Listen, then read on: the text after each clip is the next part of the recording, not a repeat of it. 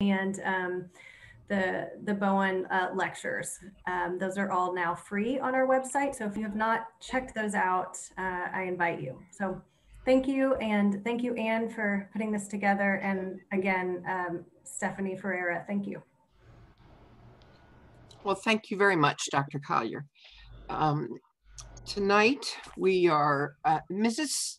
Ms. Stephanie Ferrera has been a student and trainer in Bowen theory, beginning in her MSW studies in 1974 at the Jane Addams School of Social Work at the University of Illinois. There, she heard James Framos speak about Dr. Murray Bowen's anonymous paper, which spurred her to read his book, Family Therapy in Clinical Practice. In it, she discovered his key concept in chapter 21 on the differentiation of self. She was challenged by the idea that one person's work to learn about one's own functioning in the family, emotional connectedness, can potentially affect the functioning of other family members and the unit by understanding both systems ideas and awareness of emotional processes in self and in the family. In 1978, Ms. Ferrera entered the postgraduate program at the Georgetown Family Center, now the Bowen Center for the Study of the Family, in Washington, D.C. In this training program, one is assigned a coach or supervisor who assists a student in efforts to discover the emotional challenges in one's own family and oneself while learning the theory. She also participated in the four times a year program for two years. Chicago has remained her home all these years, and there Ms. Ferrera is a founding faculty member of the Center for Family Consultation. She has developed programs and has taught theory, including clergy consultation groups. Ms. Ferrera has written articles for the Bowen Center Journal, um, Journal Family Systems and for Family Systems Forum in the Houston area. She has written chapters for books when approached and has delved into such subjects as human territorialism, tribalism, the root of altruism, emotional neutrality, and regressing systems. Ms. Ferrera has read extensively in natural sciences, especially evolutionary biology. Tonight, she will present her ideas on the evolving relationship between humans and Earth. Let us welcome Ms. Ferrera.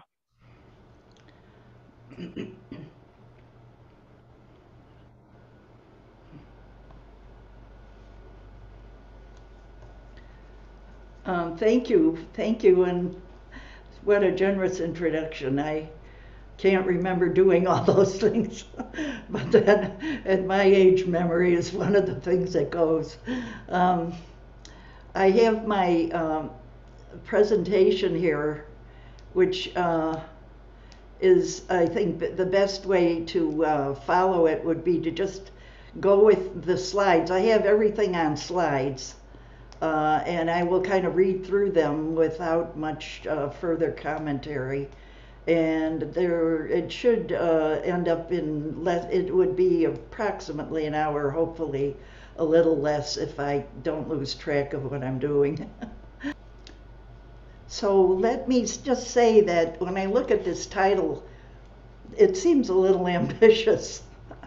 Um, but uh, i figure uh, all I could do with it is is really just put together a few ideas that relate to it. And that's uh, so that's that's what I'm going to do. And uh, it will start out with uh, an idea from Dr. Bowen. Um, man has overcome. I'm trying to get this thing off of the way out of the way. Man has overcome many of the forces that threatened his existence in former centuries. His lifespan has been increased by medical science. His technica- technology has advanced rapidly. He has become increasingly more in control of his environment. Um, so it sounds like kind of a description of the human success story. And Bowen wrote this in the context of his uh, writing about the environment and the emotional process in society. in the 1970s. Moving on to the next slide, finally. Uh, look, I like to look at the origin of species. I love to uh, consult to consult it because it seems like I often find that if I have a question and I ask myself what would Darwin say and I look it up, I, I find that he actually has said something about it. Well, this is what he said about growth, the, the growth dynamic.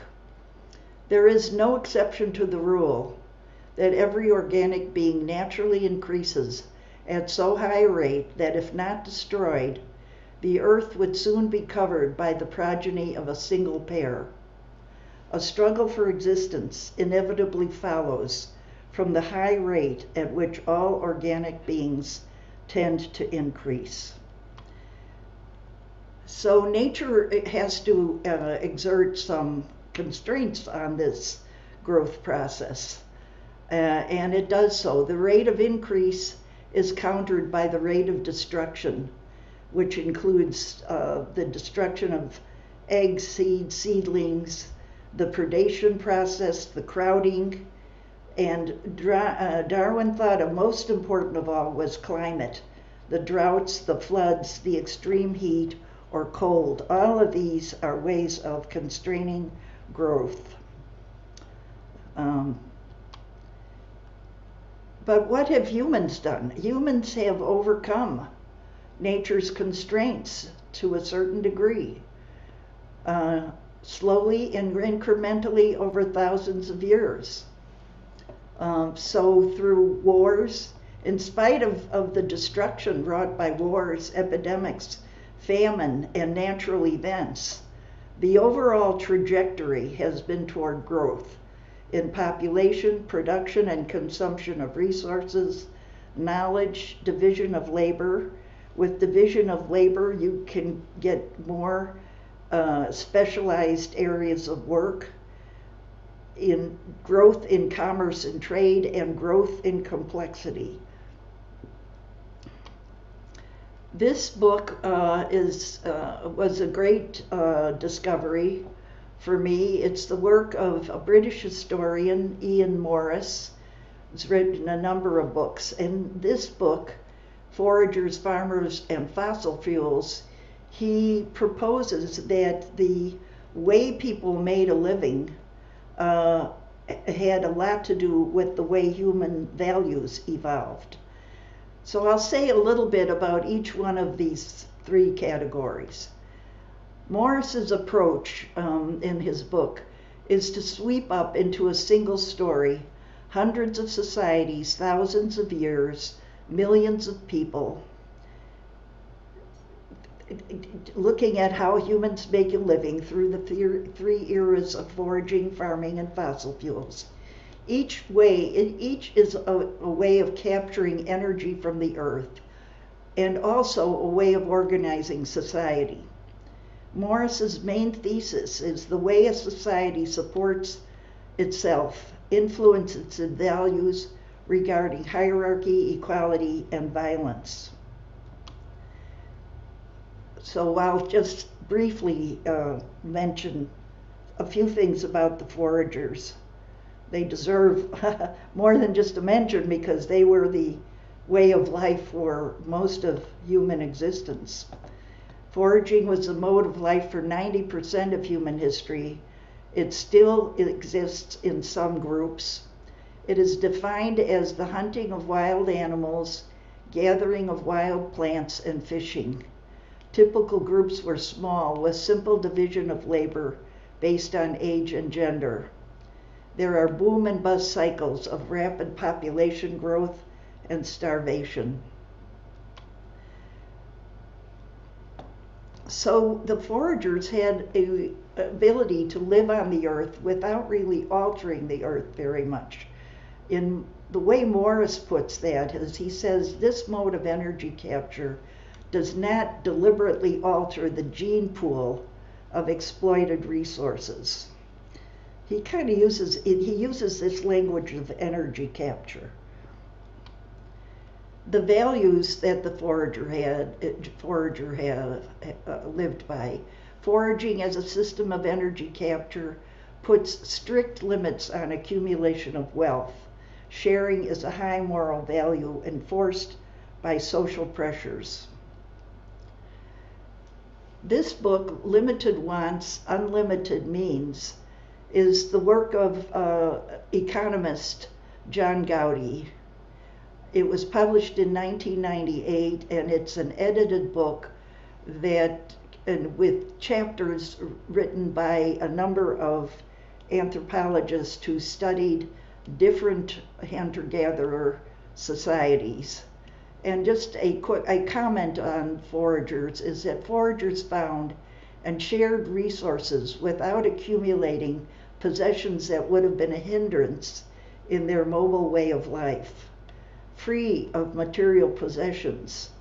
You know, that is a kind of a freedom that we don't, we, we don't, uh, we probably should learn to pursue that freedom a little bit more, being free of material possessions. They found security in their social, intellectual capital, and egalitarian communities and sustainable relationship with nature. So I'll say a little bit now about farmers. Farmers are people whose most important source of energy is domesticated plants and animals. Farming emerged between 15,000 and 10,000 years ago and spread across the planet with far greater speed, scale, and thoroughness than foraging. As populations grew, people migrated in search of new farmland discovered the great rivers that could be used for irrigation, transport, and communication. As each agricultural core grew, it went through a slow motion explosion in energy capture. Farmers became increasingly effective at exploiting domesticated resources. So this picture is not the early farmers. It looks like more of uh, the agriculture, the industrial agriculture that we have now. Uh, Morris says a steady increase in energy captured per acre of farmland made it possible to feed millions of mouths. But it came at the price of constant backbreaking labor. The life of the peasant has been characterized by poverty, squalor, and poor health agriculture changed everything in the world. Uh, the discovery and basic and spread of agriculture set humans on a path to economic and social change that transformed human life and the ecosystem. The ability to produce food through domestication of plants and animals gave farmers a new level of control over the food supply with little or no understanding of the long term consequences, they began to acquire control over nature itself. Along with all that change, uh, there was a shift toward hierarchy. Increasingly complex division of labor was required by the scale of farming societies large scale organizations needed labor beyond the kin group. So they turned to um, hiring people to market based wage labor, and also there was forced labor. Morris uh, cites Athens, Athens as the example of as many as one person in three was a chattel slave. Few, if any, farming societies did without slavery or serfdom altogether. On the brighter side, um, the division of labor freed a percentage of the population to pursue intellectual life and expansion of knowledge. this is more from, from Morris. I thought it was really interesting the way he explained how farmers adapted to hierarchy. Um, between about 4000 BC and 1 BC, political and economic inequality became deeply entrenched. The old deal was a social contract that dominated the agrarian world. Peasants and elites were deeply interdependent. All parties had duties as well as rights. A great chain of being linked the humblest peasants to the supreme beings, with the intercession of priests, nobles, and godlike kings, guaranteeing the fundamental justice of the political and economic hierarchy. A pattern emerged of general acceptance of glaring wealth inequalities, combined with glum- grumbling resentment against them and occasional outbursts of leveling rage. So Morris is really saying um, people accepted hierarchy, but when it became unfair or it, they felt that the rules weren't being followed, that uh, were, would be times when people began to rebel against, probably the peasants rebelling against those. Um, I don't Uh, who were who were oppressing them. So, how did this change the human relationship to Earth?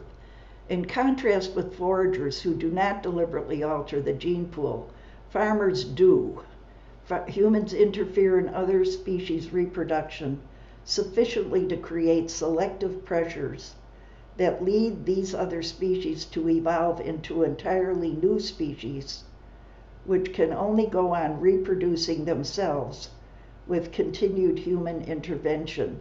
I think that's, a, you know, I highlighted that. I think it's a very interesting way of, of stating how humans humans began to alter nature uh, and to some extent uh, control nature. So new species could only go on reproducing with continued human intervention domesticated plants and animals were the originally original genetically modified organisms. So that what we think is kind of recent is actually quite old, genetically modified organisms. So how did that affect the way people looked at the natural world? Uh, it's not hard to see how a hierarchical view would have influenced that. People continued to deepen their knowledge of nature, but now they had an eye to enrichment opportunities. What, what, could, what could they uh, do to um, benefit more from nature?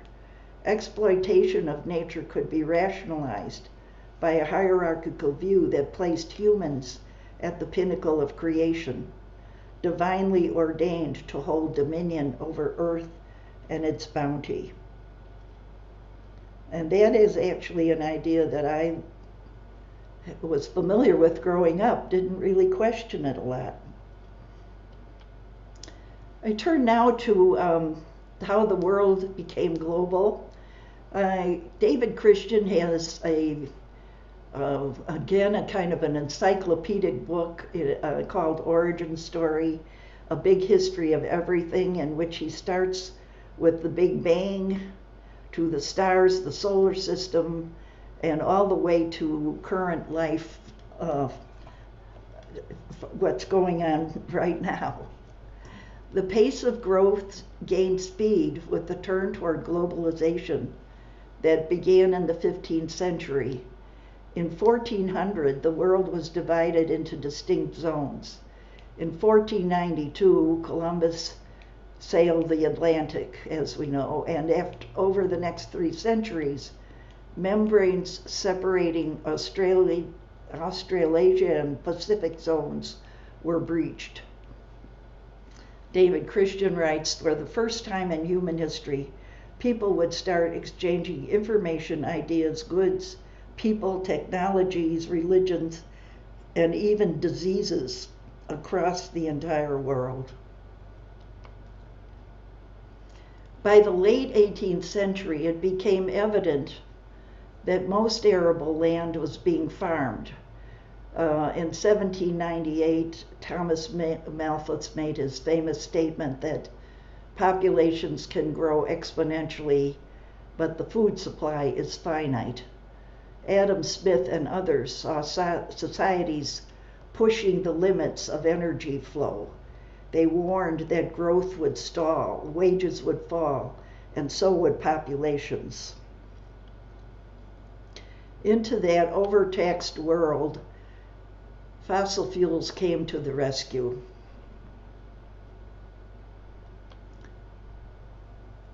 Exploiting vast deposits of coal, gas, and oil buried under the Earth's surface, set off an energy bonanza, transforming human societies and values. Fossil fuels began to be put together with steam power in the 17th century. Finding new sources and new methods of extraction and transmission gave rise to new business, legal, and financial institutions. The remarkable 20th century, um, and I really think these these numbers are, are stunning uh, to consider. At, in 1800, the world population was just under 1 billion. By 1900, 1.6 billion. By 2000, 6 billion. And in 2018, 7.6 billion. So the 20th century brought more than a tripling of population, despite the millions of lives, many of them young lives, that were lost to wars, epidemics, and famines of that century. So it's something to, to it seems amazing, amazing that, that so many lives lost, and yet the growth trajectory was uh, going full speed ahead, it seems. Consider also that the century gave rise to an expanding middle class with a higher standard of living and a doubling of life expectancy. David Christian writes Total energy consumption doubled in the 19th century and then rose by 10 times in the 20th century human consumption of energy rose much faster than human populations. So these are, this is a little summary of just very scan, uh, a few points of um, what happened with fossil fuels. Uh, the extraction of vast deposits of fuel, um, the energy bonanza, the Industrial Revolution, the transforming of societies, accelerated growth, high wages drew people from the farm to the factory. An enormous middle class was created, able to buy the goods and services that fossil fuel economies produce. There was a trend toward smaller family size, infant mortality was reduced, women and babies were healthier. There were more women working outside the home. And there were social movements um, coming uh, to increase, focusing increasingly on human rights. So, putting, you know, kind of um, pausing a minute to think about all of that change uh, I was asking myself, what about the family? Uh, here, uh, the family is participating in all this change and adapting to all this change in the conditions of life. So I want to spend a little time looking at that. Farming impacted the family. Uh, the scale of agricultural societies led to creation of economic enterprises far bigger than the family. But the family did remain the basic building block in farming economies. The internal structure of families, however, changed beyond all recognition. That's again from Ian Morris. Farming enabled, there was a new um, division of labor enabled by and more complexity heavy labor plowing manuring irrigating made farming increasingly men's work. Women were pushed out of the fields, pulled into the home. Farm wives had more babies than female foragers. In addition to the work of managing households, most material goods were produced within the household, including weaving, pottery, food processing.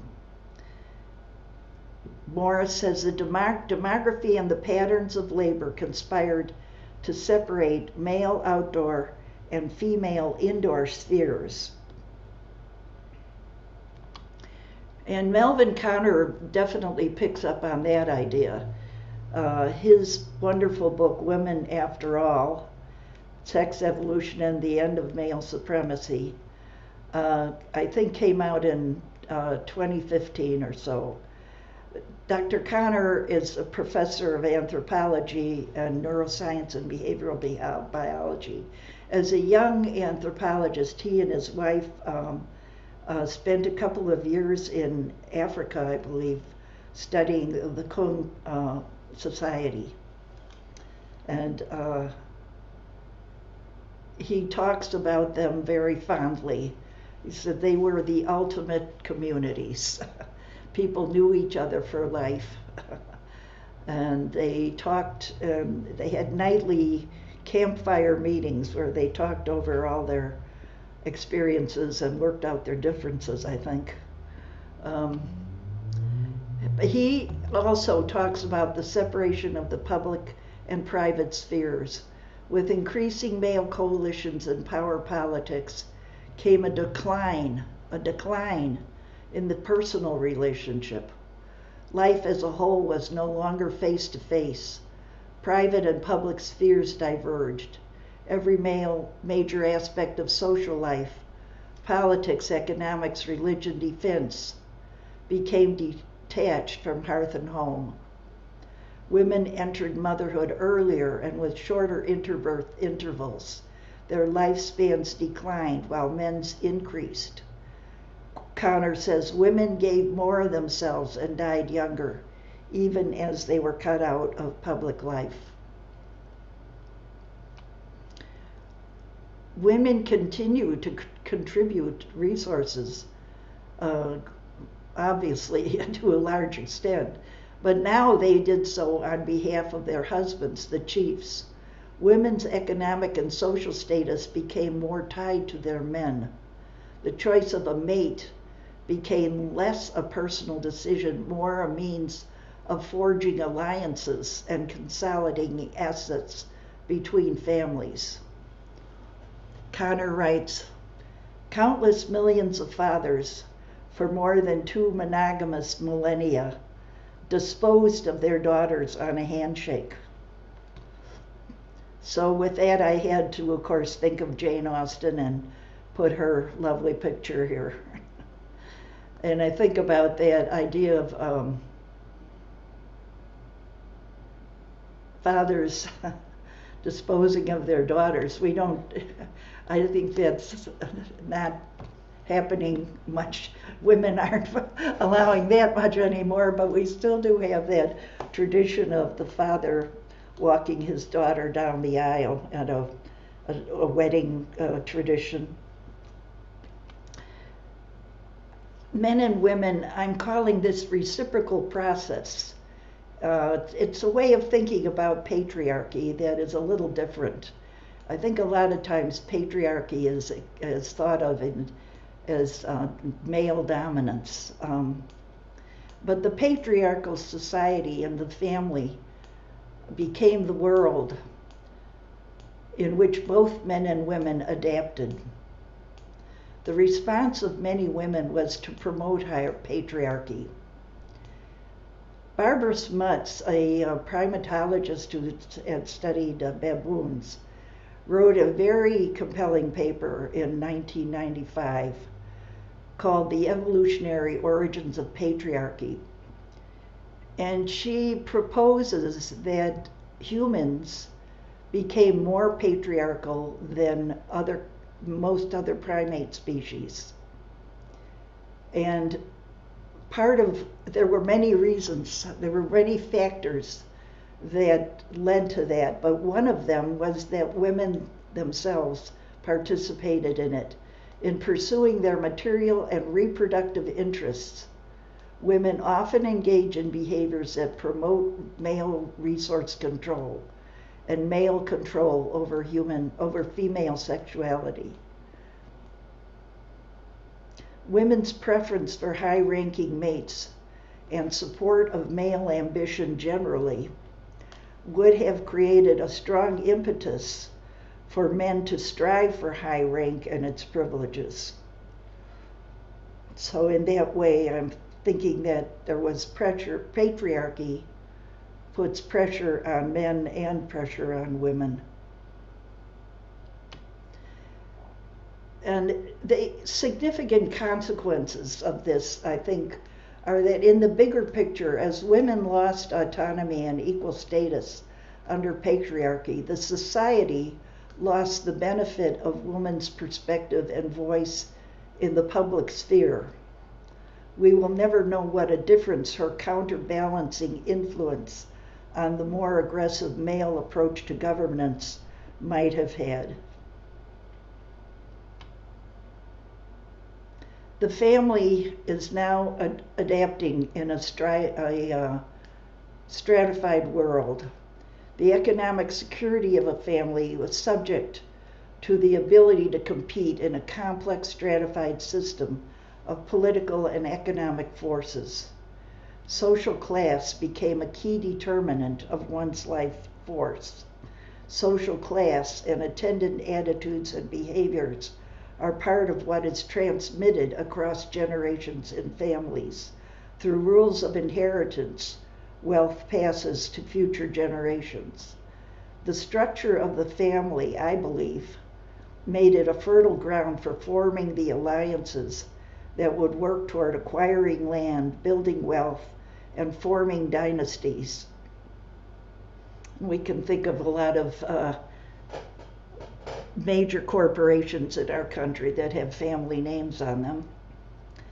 The family is a part of the fabric of a hierarchical society.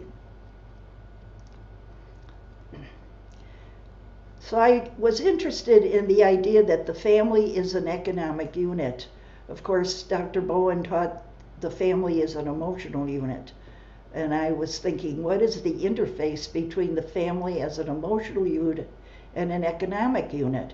So I put those words into the Google search and I uh, up came this uh, article by a an economist, Friedrich Baerwald, uh, from Fordham, and he wrote an article called "The Family as an Economic Unit," and I thought it had some very good ideas, so I'm going to share those. He says, in the long experience of mankind, the vast majority of families were also producer units working together on the land and in small shops to earn the family income with their own productive assets, meaning the family had more control over, over their production.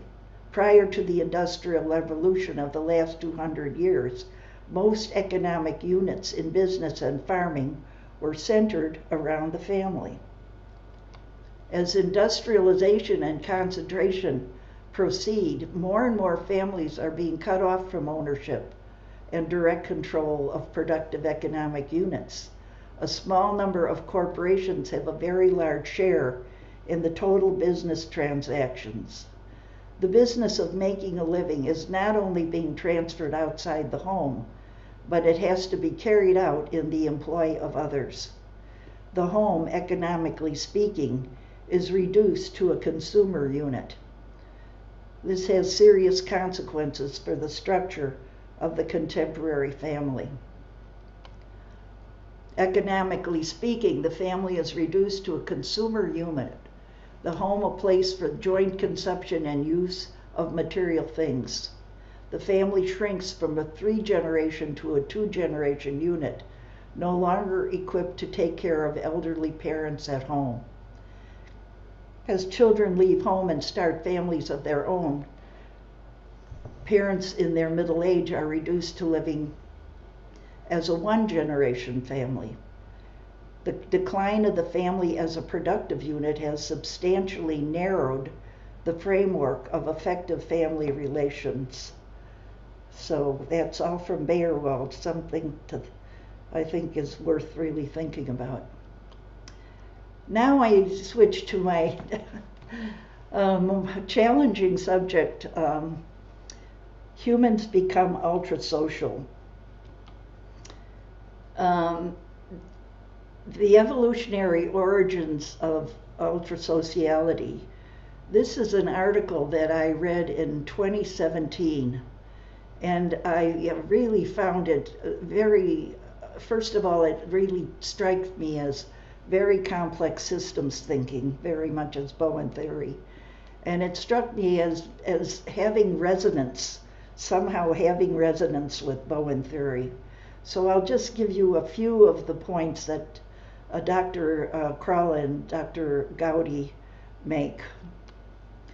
Um, heaven, human evolution took a decisive turn toward our sociality with the agricultural revolution. We've already talked about the ability to produce one's own food, the extensive division of labor, deeper level of interdependence, and a dynamic of expansion. Gowdy and Krall write, in only a few thousand years, humans made the transition from being just another large mammal living within the confines of local ecosystems to a species dominating the planet's biophysical systems. They argue that the driving forces in evolution, the evolution of ultra-social societies were economic, with intensified group level competition, larger populations, and intensive resource exploitation became competitive advantages, and the social conquest of Earth was underway. This is an extremely rare and extremely successful development in evolution. It is difficult to appreciate the break with the past that this represents. Ultrasociality gives species the ability to produce and expand their food supply rather than wait for nature to provide it, a new mode of production that gave them a decisive evolutionary advantage. Only a small number of species have reached the ultrasocial level of group integration. They include ants, termites, and humans. Surplus is a driving force, according to Dr. Gowdy.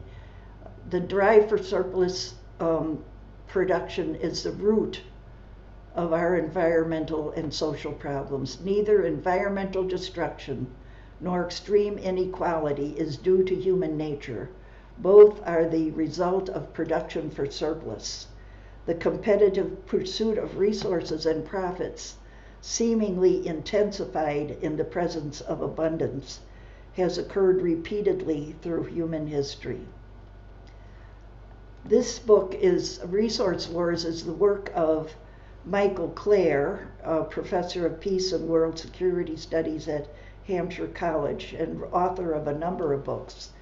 And in Resource Wars, he gives this, I picked this book because he describes so well how, how the surplus and abundance drives behavior. He describes a pattern seen in parts of the world where rich resources are found, discovery of gold, oil, diamonds, valuable minerals, timber, land, and even water create opportunity for massive profit. When they are found in countries that have weak, divided, or corrupt government, these countries become vulnerable to exploitation.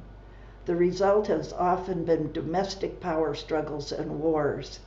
These contests have produced an enormous toll in human life, accompanied in many cases by severe environmental damage.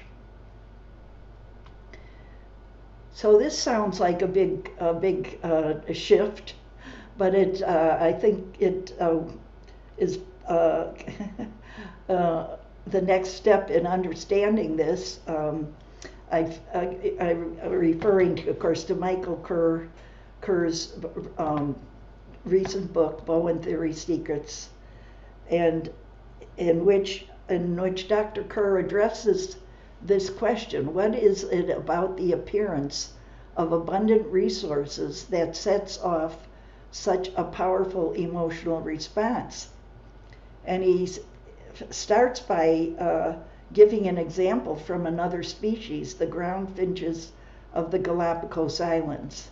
In a season of extraordinary rainfall, there was abundant food. The birds began a copulating frenzy, followed by a breakdown in normal mating and parenting behavior, ending up in an explosion of population. When the rain stopped, resources dropped, and huge numbers of birds died. And Dr. Kerr then gives a human example that he finds, he sees an eerie similarity between the finches and human behavior in the face of abundance. And the example is the financial crisis of 2007 and 8. There was the housing bubble, subprime mortgages were given without normal credit standards. There was a high default rate a lack of focus on the ethics of these activities, and overfocus on enormous rewards. Many financial and government institutions were complicit. So, the combination of abundant resources and weak constraints, I think, pre- presents a real challenge. Uh, humans have shown a proclivity to react with gold rush fervor in the face of abundant resources and weak constraints.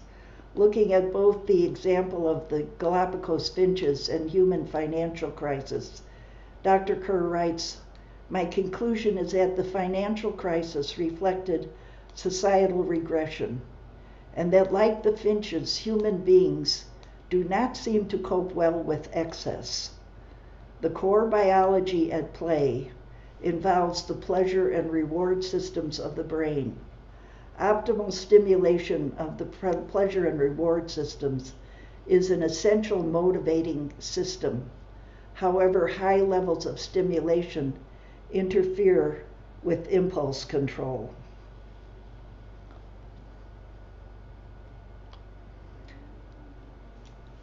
So, in a world of surplus, I think there are, uh, we would think that would be all very positive, but I think there are ways in which it really generates anxiety. Uh, the great advantage humans gained in acquiring control over the food supply and generating a surplus seems paradoxically to have set us on a growth trajectory that is difficult, perhaps even impossible to contain. We have developed social, legal, and moral codes to regulate acquisitive instincts but these are often overridden when opportunity for profit appears on the horizon. Far removed from our hunter gatherer ancestors, we have created societies in which wealth and power beget more wealth and power. Chances for a secure life are largely tied to social and economic status, conditions designed to stir chronic anxiety. Dr. Gowdy uh, also has points out that with this um, ultra social system, there is a decline in individual functioning. Autonomy is suppressed as the group itself becomes the economic unit. Elaborate division of labor makes the behavior of individuals simpler in ultra social societies, even as the society grows more complex collective intelligence can increase while individual intelligence declines. The selective pull of the group over the individual becomes greater with increasing complexity. Again, a uh, reference to Gowdy and Krall's um, work on ultrasociality. I see uh, parallels between this concept of ultrasociality and Bowen's concept of the emotional system. Uh, and here here are a few things that I think they have in common. Um, Gowdy and Krall thinking about the economic forces that drive the expansionist global market. Bowen's thinking on the instinctual emotional system that drives the functioning of human families and societies.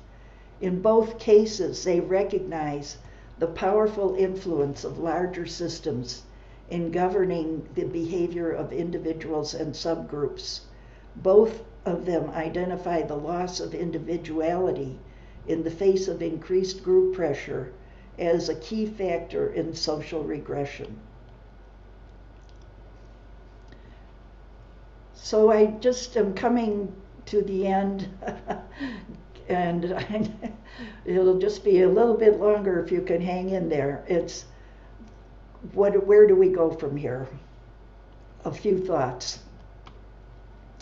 A saving grace for humans is that we're different from ants, no matter how constrained by togetherness pressure. Humans do not lose the force for individuality, defined by Bowen as the drive to be a productive, autonomous individual, defined by self rather than the dictates of the group. Differentiation of self describes the variation among group members in their ability to transcend the pull of the group and with variation, um, all people have some capacity to think independently, to be guided by principles in the face of social, economic, or political pressure to compromise principle. Bowen defined, described the differentiated family leader as one with the courage to define self, who is invested in the welfare of the family as much as in self. These same qualities apply on a societal level. From this perspective, the ability of a society to discern and identify its most mature and responsible members and select them for positions of leadership is of utmost importance. uh, Dr. Gowdy says it's our imperfections that may save us. We're not answer termites. Our recent ultra social legacy is imperfect, not efficient and stable. The imperfect system creates openings for a change not presented to answer termites. How can we tap these opportunities to gain control of the human ultra social system so that our species may once again have a sustainable and equitable way of life? the road not taken, and this comes uh, from Edward Wilson's book, The Social Conquest of Earth. Um, um, see, I, my screen is sort of covered up here. Anyway, it, he's talking about the, that it, at the dawn of the Neolithic era, it might have humans might have halted population growth below the constraining minimum limit. As a species, we did the opposite. There was no way for us to foresee the consequences of our initial success. We simply took what was given us and continued to multiply and consume in blind obedience to instincts inherited from our humbler, more brutally constrained Paleolithic ancestors. Unlike our ancestors, we of the 20th century have the benefit of foresight. We have knowledge of complex geophysical systems and the part that human activity plays in global warming and the related crises. We even have the knowledge we need to put the brakes on out of control economic growth. The realities of the 21st century call for a different kind of growth growth in maturity, in the ability to constrain the expansionist system, the wisdom to forego energy expensive activities and personal comforts in favor of the longer term vision of a more equitable and humanistic way of life on a recovering and protected planet. In addition, it is not insignificant that a number of people feel real anguish about the imperiled state of the world and what the future generation will face if we do not change course. Poet Dan Hanrahan writes, quote, the problem is, the longer this economy persists, the more degraded the planet becomes. That, unfortunately, is the design of this particular system. Its persistence is dependent upon our degrading our home and the home of all our fellow beings. This internal dissonance, internal dissonance threatens to become overwhelming. And I liked that very much uh, when Dan wrote that because uh, I think it captures what a lot of people and what we're hearing a great deal from younger people about the real anguish of, of knowing that that this way of life is is uh, so costing us so greatly. John Gowdy defines three levels of governance um, the individual, the community, the institutions. Change must come at the individual and community levels, but most important at the institutional level. The ultra social human economy is the uppermost limit in the governance hierarchy, and it is the most problematic. To achieve sustainability, we must design institutions to, to assert control over the global economy that is uh, comes from his chapter in a book called The State of the World. And of course, I have to admire um, Pope Francis. I do admire Pope Francis greatly. As a young man, he actually trained in science, I think chemistry. And in his wonderful encyclical, Laudato Si, he, uh, he describes uh, the science of climate uh, very clearly and also puts forward a moral, the moral principles that we need.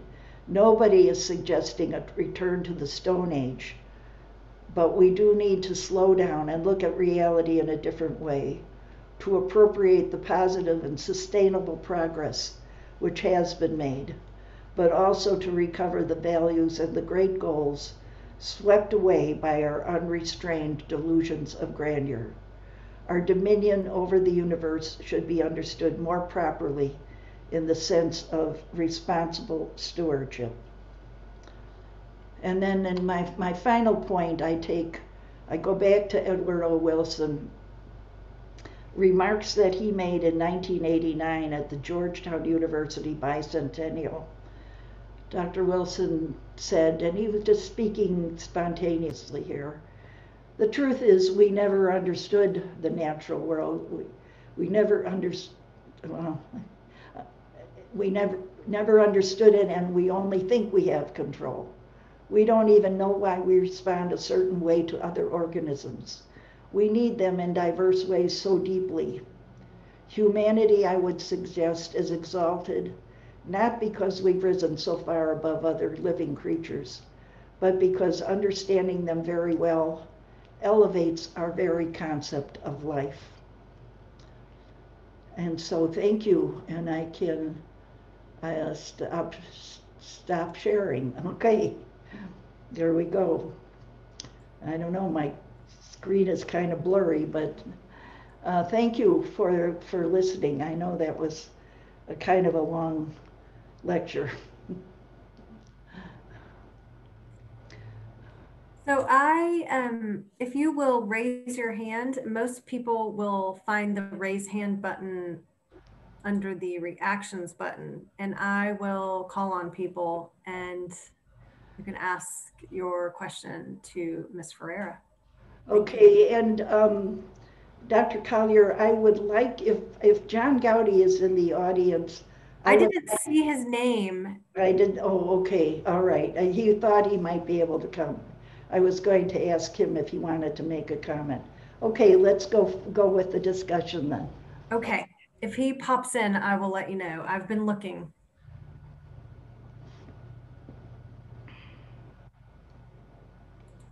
So I'm just, um,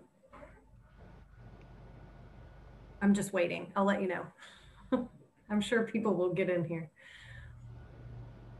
A Collier, there's one person who is in his physical hands. His name is David. Okay, David. Hi, Okay, there I see you. thank you. Yes, I, Hand at I the I I I don't have a, a hand raised button. I'm sorry. Um, that was a lovely and thought provoking uh, uh, lecture and by no means too long. Thank you so much. Um, I'd like to, if I may, without, uh, knowing how to be quite as articulate as I wish, mention one aspect which was particularly interesting and where I went with it as you were speaking, although you also took me there very satisfyingly.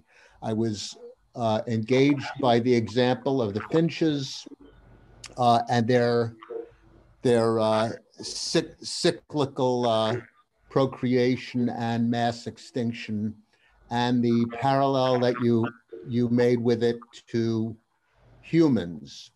And it occurred to me that uh, the finches uh, in Darwinian fashion, which you introduced earlier, uh, may be said thereby to have improved uh, at least their gene pool, their future society through the process. And my thought was in the economic crisis example that you you provided, the boom and bust, uh, the challenge is for, as you said, how humans can can do that uh, in similar situations, and uh, and of course, it's family, uh, politics, and government. And in the end, I'll stop speaking to tell you where where my thoughts went, uh, where they frequently uh, go, and that is to the work of uh, John John Rawls, uh, and I forgot the name of name of his work, but some of you might be familiar with with his uh, his work of judicial philosophy. He wrote about what social compact we would choose if we did not know where in society we would we would uh, be placed. And he said, he called it the Maximin theory, that we would rationally choose uh, a social compact which first allowed us, well, which guaranteed us the avoidance of the worst consequences while giving us the freedom to seek the best. And it seems to me uh, I think you, you laid that out also, but choosing such a compact uh, would be the needed feedback system for uh, achieving many of the goals that you uh, brought brought to mind and for which I'm grateful. Thank thank you. I'd, I'd love to hear your comments. David, thank you very much for bringing up John Rawls. When I was in social work school, one of uh, my classes, we spent the entire quarter studying the theory of justice by John Rawls. Thank you. And I think we had a philosophy a graduate student leading the class. And uh, when I think about John Rawls, I think, well, this is, he talked about the veil of ignorance, that we would not know what our position was. And it seems to me, just as you're speaking, it occurred to me how this is really part of the work of differentiation of self. Is that we, we don't have a veil of ignorance. We do know what our position is in, in a society, our, both our advantages, our disadvantages. Uh, but what we can do is we can think about what would be a fair and equitable society and how we would manage our own behavior uh, to, to contribute to that kind of a family and that kind of a society. So I think uh, I think John Rawls, uh, he's not, I think he's in the philosophical camp rather than the science camp. Uh, but that is a very important idea that he, uh, and I, you know, I think it's part of, it's an excellent, it's an excellent question that he raises, an excellent challenge that he raises. Thank you, David. Ms. Ferrer, there is um, Phil Cleaver and Dan Hanrahan. Uh, yes, thanks for your presentation. Um, I was especially intrigued by your uh, comment about anxiety from plenty. And um, of course, I thought about societal regression, and I've I've always thought of societal regression as being fueled, of course, by uh, man's relationship to nature, overpopulation, pollution, et cetera. And I'd never really thought about the anxiety that comes from plenty. And it got me thinking about uh, what is that anxiety? Uh, and what I, my first thought is it's maybe managing status, hierarchical ranking, and and how much you have or don't have. But I'm curious what your thoughts are about how you describe more of what the anxiety is in the plenty for the human. Well, I think anxiety is tied uh, to, uh, there's part of family functioning is the search uh, for resources. And we, you know, we need to provide for the members of the family. It's a basic function. And there's anxiety when, uh, when you're not, those resources aren't very secure.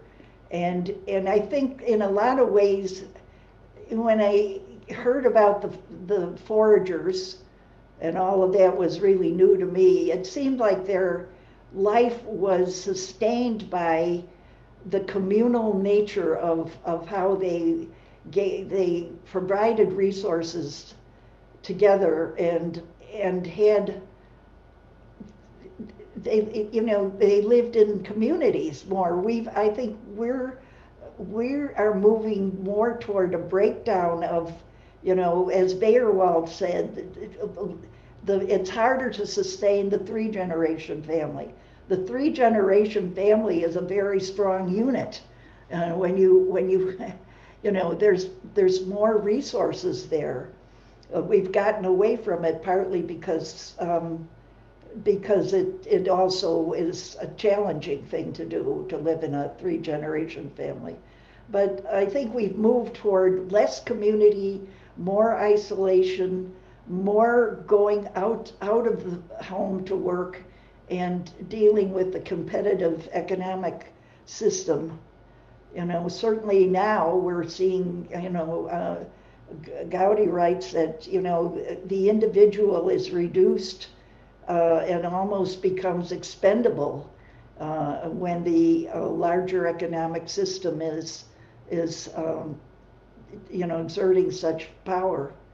Um, any, what, are- it, it, does that, does that fit at all with what you're thinking, Phil, or?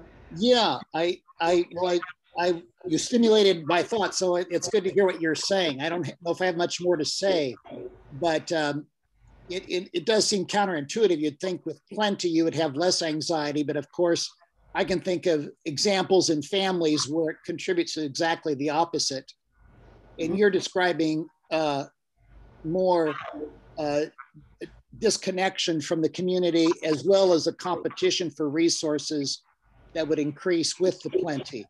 And those two things make sense to me. Mhm. Thank you. Thank you.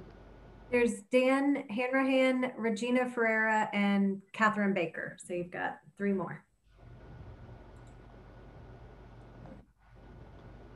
You have to unmute yourself. Thank you for the really edifying lecture, Stephanie, and bringing together all those vast eras and some of their distinctions. Um, relevant to your talk, I've been reading recently a, a new book by an Aboriginal philosopher named Tyson Yunkaporta. And it resonates with other books I've written, I've read by philosophers representing something different than Western philosophy, who are coming from traditions, social traditions not defined by such rigid hierarchy. In fact, by traditions defined more by some of the hunter gatherer life ways that you were describing. And something uh, Jack D. Forbes, for example, from the United States, Peter Gray on Psychology Today has been writing a long series of essays about hunter gatherer socialization of children. And something I've noticed with uh, Tyson Caporta and those other writers is that they identify within the human a tendency to become very narcissistic, overly competitive.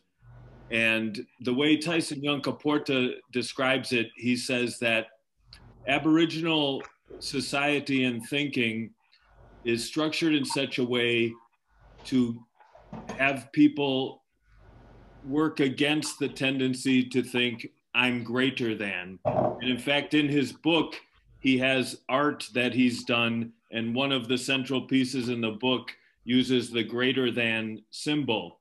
And what he proposes is that when I am greater than you takes over as a societal ethos, the society is probably doomed and their relationship to the planet uh, probably along with it. And what happens ecologically is that people start to view the planet as objects to be exploited rather than subjects to be listened to.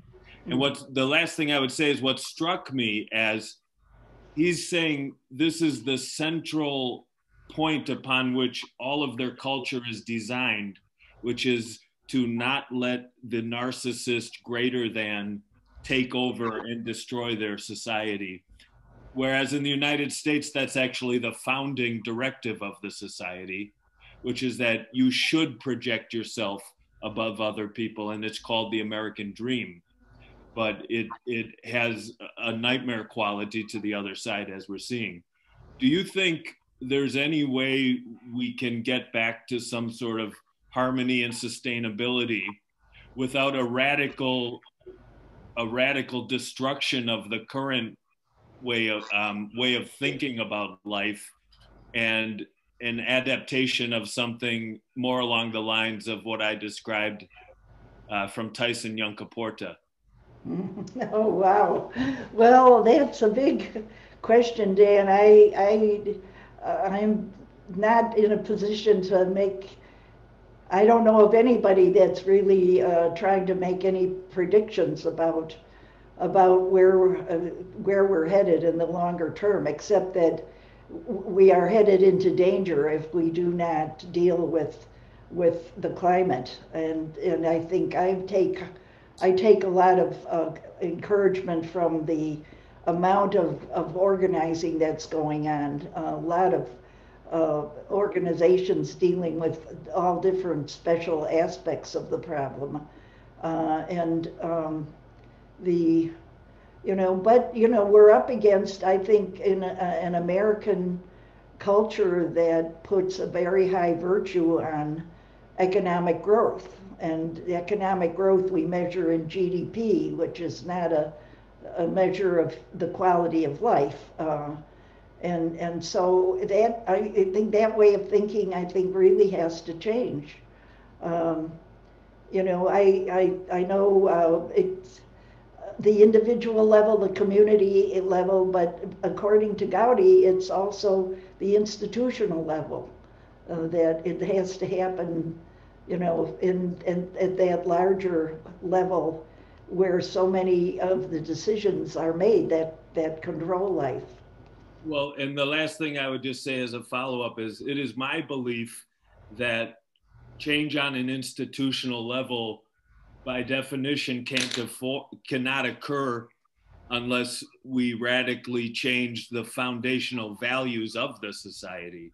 Okay. Because it, the, the, the, in our nation, for example, was founded on the idea of individual accumulation as the prime objective yeah. That, that's in direct contrast to any notion of sustainability. So I- I'm, I'm, I guess what I'm advocating is uh, complete abandonment of most of the founding values of this society. Well, that's okay. Okay, well, you are um, always a challenge for me to, it's always a challenge for me to keep up with you, Dan. Thank you. Just for you have three um, waiting. It's going to be Regina Ferreira, Catherine Baker, and now Victoria Harris. Okay, So I guess I'm next, Regina. Um, it was great to hear uh, hear you go through all these ideas from these wonder these great thinkers, and especially since you and I have been talking about these ideas for so long, and you've been presenting about them and writing about them for years, and that was great to hear. I you, um, I really liked how you pulled together all these different ideas in a way that made sense and I, you know, it's really interesting to think about the um, the economic function of families and how that has affected the emotional function. Um, I think that's uh, a fertile ground for for probably a lot more research.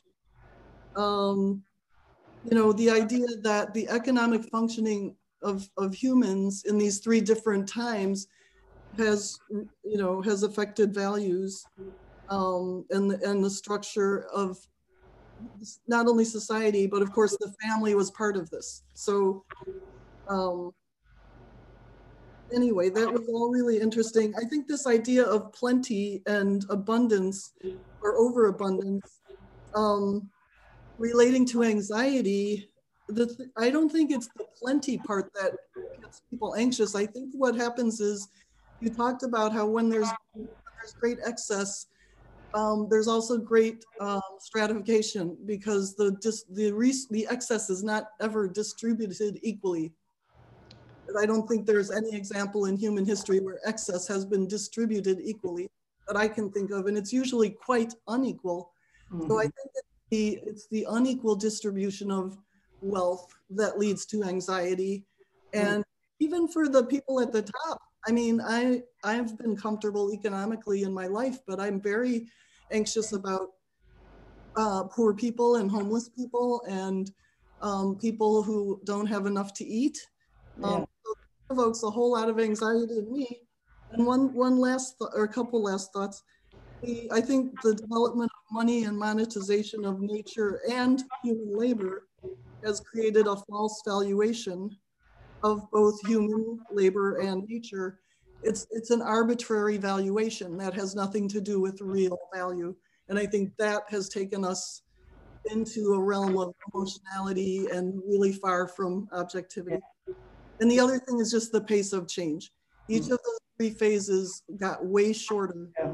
And we've only been in fossil fuels for 250 years and we've already managed to turn it into a disaster scenario. well, that has, you know, that has been very powerful, obviously, but both uh, Ian Morris and uh, Melvin Konner and John Gowdy have appointed to the very long period of human life on Earth with the, the hunter-gatherer societies are considered by those who study them to have been quite egalitarian. And so it's, I think it's definitely possible for people to do it. I, I don't think human nature is in, in, in so innately uh, entrenched in uh, competition and uh, hierarchy that we can't develop a more, a much more egalitarian society. So should we move to, Yes, it's going to be Catherine Baker, Victoria Harrison, and then Anne McKnight. You've got three now. Yeah. Hi, Stephanie. Thank you so much for doing that. Um, am I unmuted? I hope. Am I unmuted? Yeah. Yes, we can hear you. Oh, good. I just want to thank you so much, Stephanie, for that wonderful overview of our species and uh, and the planet that we inhabit. it was just inspiring and, and impressive that you pulled it all together in just an hour. It was incredible.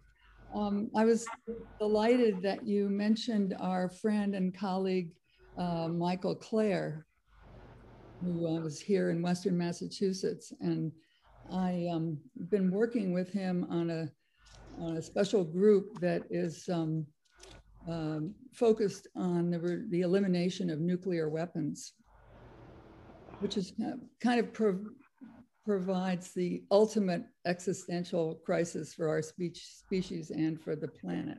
Right. Fits with the the the uh, ultimate anxiety in a world of surplus being the this existential anxiety and uh, generated by our surplus capability for destruction. Yeah.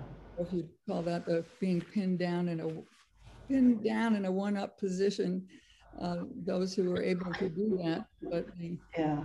Um, Michael Klare is a very, very clear uh, but disturbing thinker as he's addressing that. So it, yeah. good to have him included.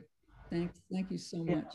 Okay, thank you for the comment. I want to go further in studying Michael Klare. He's, I know he has more recent books too. Thank you. Toria Harrison. Stephanie, I can't get any light on my face, so I'm just gonna I'm just gonna speak from the dark here in, in Houston, Texas. Um, so you know that I've been trying to think about how the reactiveness to threat stirs adaptation in evolution. Yeah. And here's where your presentation has helped me put some words around this that reactiveness to threat for the human is stirred that that conditions in the natural environment climate and its impact and population stir reactiveness to threat before we're aware of the reactions or the conditions stirring them. And those are at play and underway, minute to minute, day to day. And you just described, I think, the best history of when, where, and how that is set in motion that operates in our form of life. I don't think we know where it will go, where human adaptation can yeah. go. Um, I think you described so well how uh, the difference that our ability to be aware and then use that awareness makes possible adaptation that might not be possible otherwise. Mm-hmm. I got a question, and there may not be time for this, but the question is what is the evidence? What do you see as the evidence that we are not capable of overriding the natural constraints and the reactiveness that is already producing adaptation. What's the evidence that we can't override that? Well, the evidence is that we have overridden a lot of the constraints. I mean, you know, you you uh, you know, the population by itself is is you know uh, uh it, beyond any other large mammal species. So we have you know, human knowledge, human culture, um, you know, what we have done. And, you know, we have cities with 25 million people living in them. I mean, so that's overridden. We've overridden the natural world in that way. Uh, I, I, well, this will be fun to continue. I don't think so. I think that that puts us up against the constraints that are evident in, in the impact of, uh, of environment on reproduction. For example, reproduction, we can't override the impact of these factors on reproduction or on um,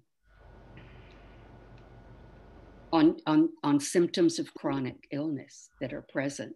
Yeah. in this population under these circumstances. Yeah. Anyway, that would be fun to talk about another time. Okay, well, we're gonna have to Thank you. continue our dialogue, Victoria, and keep, just keep it going, because there's, uh, you know, I do remember Dr. Bowen's words were, uh, that, that humans knew more by their instinctive radar than by their logical thinking, that we were running out of new frontiers to explore uh, that, that the awareness of of the imbalance that we were that we now have with the earth was dawning on us a long time ago. Um, you know, I think there's a great emphasis on keeping new, inventing new kinds of energy so we can keep consuming energy at, at the same level. And, uh, you know, it's, that's a big question, I think, as to whether, whether we can do that. Um, you know, I don't know, I, the complexities of it get to be, you know, mind boggling. Thank you. You have Ann McKnight and Randy Frost got his hand in there at the last minute. So What a fascinating lecture. I mean, I you covered so many areas, um, Stephanie. But there were, you know, the one thought I had about the the hunter gatherers is there's evidence that the hunter that the human overrode nature way back with the hunter gatherers. I mean, what happened to the woolly mammoth? You know, they were hunted to extinction, or the large deer in Europe. Um, so that I think there is an instinctual part of the human, whatever way they're organized, to to survive, you know, at an instinctual level in whatever way they can, even though it, it exhausts the resources. But anyway, that's, I mean, sometimes I think the hunter gatherers are like the original, you know, great person. And, uh, but anyway, what I really wanted to talk about was the, um, the impact of abundance. Mhm. And, you know, in my senior years, I can't, although I've talked about this guy, there is this man in who um, who did research in Sweden about the periods of of uh, excess and starvation. Maybe you you can remember his name, or or somebody like that. And it, and he studied the epigenetic, um, you know, implications Yeah. of what happened in this, the the um, area with abundance and um, and what he discovered was that when children were born in abundance, that their children had a lot more lived less less um, long and had more diabetes and health aspects uh, dilemmas than the, the children who were born with um, in the periods of starvation. Mhm. And I think that I mean, it's an interesting aspect. Yeah. You know, we in the United States live with abundance, even though there's a disparity of levels of uh, Yeah. resources. But we're, you know, we have a horrible health history, Yeah. Yeah. diabetes, and you know, and Yeah. uh, weight, and I, I don't know if if it's just anxiety or if the human needs to be able to bump up against its uh, challenges in order to maintain an equilibrium. Mhm. I, I don't know, but Yeah. I think that um, his name is Berenson. But anyway, I think that study is absolutely fascinating about going down. Well, Okay, and please, uh, share the uh, reference, that you share the reference to that, uh, work that you're talking about. I'd like to know more about that. I do think abundance, people who live in great wealth, I, I think of that as a, its own kind of trap. uh, that, that you can be entrapped in abundance. Uh, or, you know, I, I, in a different way, but uh, entrapped as much as people are entrapped in poverty. You know, um, it's a different. There's a set of a different set of pressures. Uh, I, I think there's a, the the new psychology today has um, a title uh, article called "The Good Enough Life." The Good Enough Life. I think if we could figure out what that is, uh, we would um, we would relieve a lot of our anxiety. what is good enough? How do you define that? Thank you. Thank you. Randy Frost, and there's two minutes, or actually one minute now. One minute. Oh, well, um, I was just thinking about you know, all these challenges that you've put forward. Um, and then I was also remembering uh, Dr. Bowen's comment at the end of one of the two chapters he wrote on societal emotional process, in which he said, in order to actually deal adequately with the challenge of the human living increasingly out of harmony with the natural world, will require a change an order of change in the human that we're not yet able to contemplate.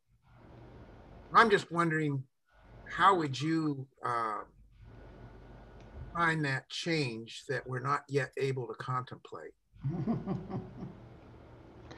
well, I do. Uh, I do think there are a number of good writers putting out programs for how we can change uh, that, that is another aspect of John Gowdy's work. And I, I should mention he has, um, he was a presenter at the spring conference on creating a climate for change. And he has a book coming out, uh, Ultra Social, The Evolution of Human Nature and the Quest for a Sustainable Future. And in that book, uh, I had a chance to preview some of it. In that book, he does map out a program for change that's quite encompassing and and and it's, it's it's the elements of it are out there we are beginning to see you know some movement what we call progressive change um, moving us more toward regulating the excesses and you know getting getting back into more of a balance you know, getting out. I think our, our society has hit a point of really extremes, you know, the more the polarization, the extremes have been, you know, kind of troubling us uh, a lot recently. And, uh, but, it, it, but people are thinking and writing and, you know, it's a matter of how, how do you bring societies along uh, to share some of the more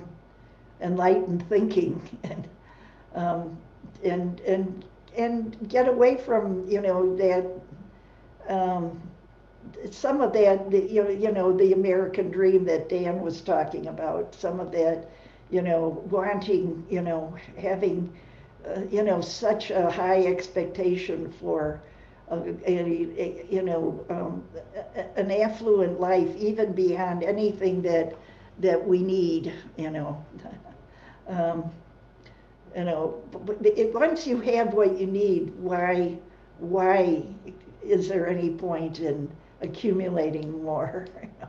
Maybe maybe that is what the hunter gatherers were able to to figure out. Thank you, Ms. Ferrera. And Curran would like to comment now. Thank you so much, uh, Ms. Ferrera, for a wonderful presentation that I'm sure will. Am I unmuted? You are, yes. Okay. um, for a wonderful presentation that generates more questions than we have time to address. So hopefully people will be in touch with her if need, if you wish, and get some of those questions answered. Um, next month is the uh, the Thursday professional lecture series will be on a Monday night on April the 5th to accommodate a, an adjusted schedule around the spring conference. The uh, presenter will be uh, Libby Copeland, who wrote The Lost Family, How DNA Testing is Upending Who We Are. Here is the book. I do recommend getting it. It is very readable, and I think you'll find it fascinating, as you will find her. Um, we also have a clinical con, I mean, an ethics meeting tomorrow for those who need CEUs for ethics.